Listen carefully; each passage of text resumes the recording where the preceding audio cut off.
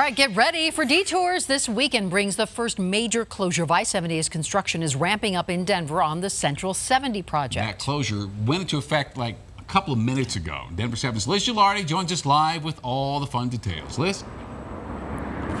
Well, and Shannon, at 9:58 or so, a truck pulled up with some more barricades here at Colorado Boulevard. I-70 is shutting down as we speak right now, and there are ways to get around it, but it's going to take you a little longer.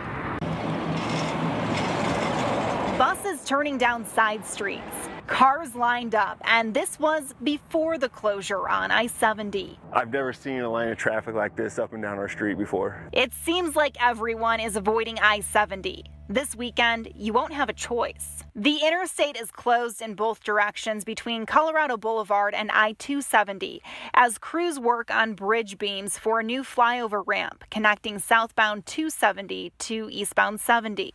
And this map shows the recommended detour. Drivers heading west can take I-270 to 76 and 25.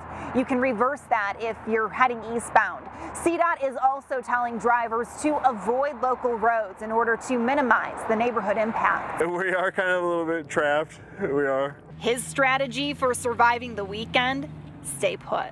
No, I'm a homebody, so it's not going to affect my plans. Probably a good strategy at that. Now, CDOT says there won't be another major closure like this for the next month or so, and the project is about 20% complete. We did ask if the weather will impact the work that's taking place, but they say it will not. Reporting live, Liz Gelardi, Denver.